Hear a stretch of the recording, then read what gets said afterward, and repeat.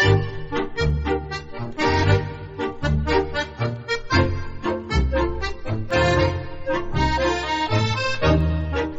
going to watch Payback while my family is at a school meeting today.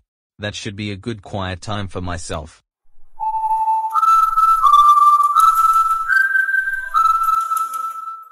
Wow. That 1999 Paramount Pictures neo-noir action thriller film directed by Brian Helgeland was very thrilling. It has a good cast with Mel Gibson, Greg Henry, Maria Bello, David Paymer, John Glover, Lucy Liu, Bill Duke, and Jack Conley. I personally enjoyed that movie so much. Oh no. It's Torrance. That's right, Denzel. How dare you watch Payback? You know that this movie is rated R for strong violence, language, and drug and sexual content. And plus, that's not appropriate for your age. You are only 15, and you need to be 18 years old for that film. You are way too young to watch it. But Torrance. I really love this action film, and it's one of my favorite Mel Gibson movies. I just want to watch that for quiet time. No. That doesn't matter, and it's a very inappropriate movie. You should be really ashamed of yourself, young man. That's it. You're now grounded for four days.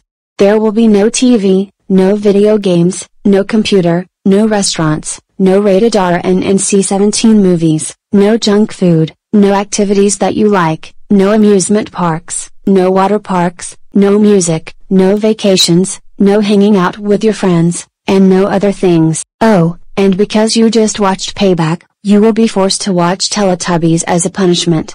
You're going to be staying here in the living room. No. Not Teletubbies.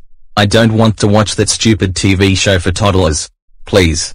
I'm so sorry for watching Payback. I don't care. You just watched Payback, and now, you're forced to watch Teletubbies. I will tell your other family members when they get home.